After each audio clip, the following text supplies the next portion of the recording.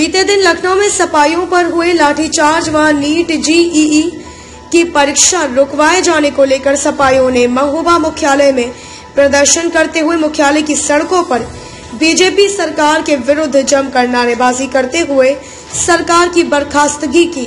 मांग को लेकर महामहिम राज्यपाल को संबोधित ज्ञापन सौंपा गया। महोबा से इसराइल कुरैशी की रिपोर्ट। अध्यक्ष जी आज समाजवादी पार्टी कार्यकर्ता और पदाधिकारी इकट्ठा हुए क्या मामला ये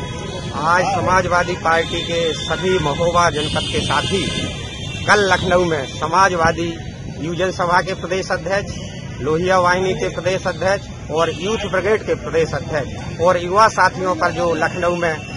सरकार द्वारा लाठीचार्ज किया गया है उसके विरोध में जनपद इकाई समाजवादी पार्टी महोबा इस सरकार के खिलाफ विरोध प्रदर्शन कर रहे हैं और हम राज्यपाल महोदय से मांग कर रहे हैं कि इस निकम्मी और भ्रष्ट सरकार को बर्खास्त किया जाए और जो जेई और नीट की परीक्षाएँ हैं, इसमें जो गरीब,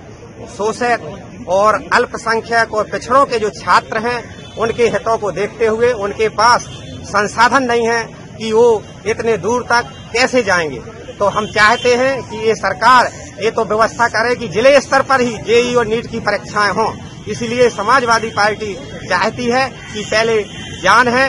बाद में हम लोग हैं। तो सरकार से मांग करते हैं कि सरकार नीट और जेई की परीक्षाओं को स्थित करे और कोरोना काल के बाद ही परीक्षाएँ करवाए। इसलिए हम लोग आज सभी समाजवादी पार्टी के साथी यूथ के सभी साथी, आज हम एसडीएम महोदय को ज्ञापन, राज्यपाल को सौंपेंगे।